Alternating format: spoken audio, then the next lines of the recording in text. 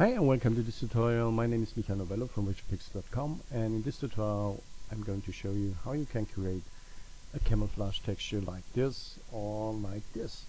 And it's really easy to do and let's jump in.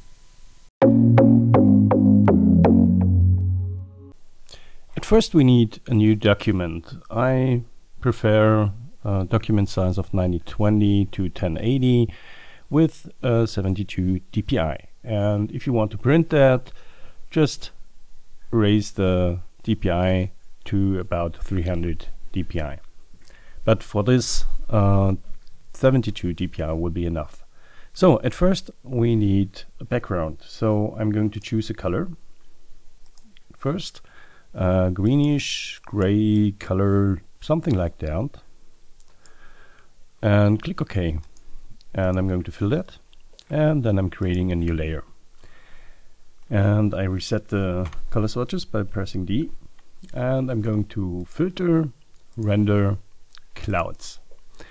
And now I'm going to press Ctrl L to bring up the image adjustment. And this time it's destructive uh, not non-destructive because it's really easy to reproduce. So I don't need that. I bring the, the sliders to the middle somewhere there so that the black and whites really separated and there's no gray in there's there's only two colors. So I click OK. And now we have to select one of these the white or the black. It depends on what you want to have which pattern. So I'm going to select color range and this time I want to keep the whites. So I click on blanks and click OK.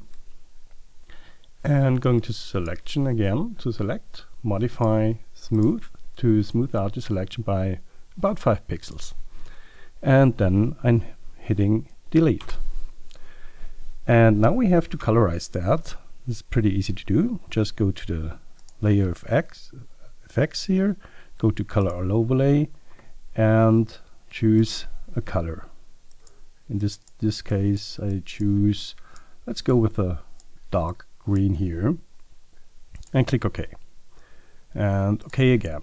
So, and then we need another layer and filter, render clouds and then again control L and this time I'm going to uh, bring the sliders to another position because I wanted to have a different pattern.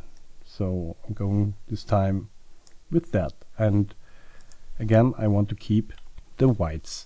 I'm going to color, color range, I select color range and I click on the blacks here and click OK and go to select, modify, smooth and again with 5 pixels and I'm going to delete that. And again to the effects, color overlay. Oh, at first we have to let's uh, deselect by Control D the selection. So effects, color overlay, and this time I'm choosing a different a different green. Let's try to stay um, try to stay in the same uh, area here, so the, that you have the same grayish tint here, the same um, brightness. So I click OK again and OK.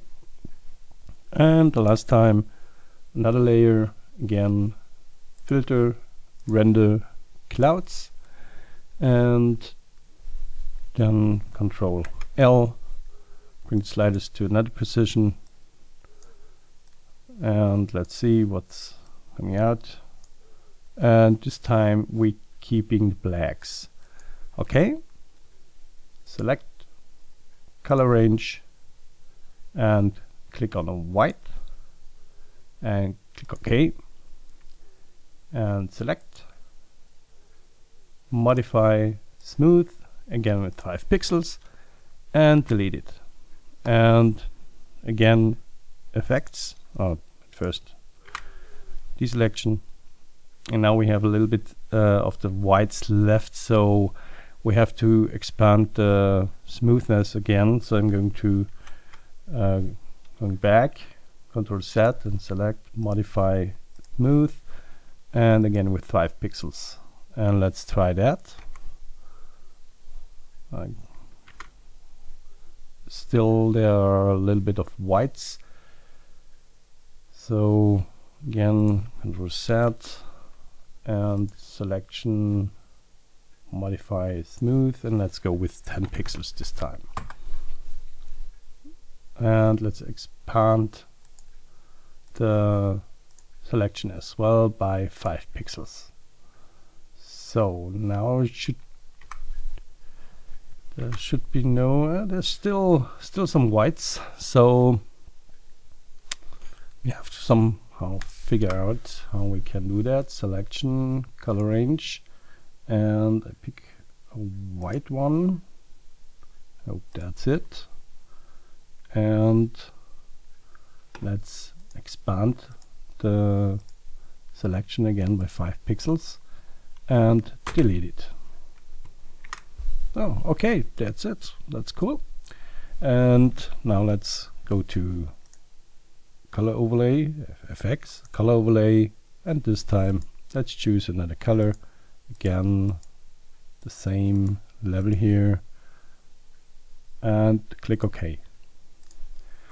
And that's it. That's how you create camouflage textures in Photoshop. You can work more on that. You can make uh, smaller patterns. Um, you can choose another color like here it's a grayish tint or here it's much brighter. That's it I hope you like my tutorials and if you like them, please subscribe to my channel and I see you next time. Bye.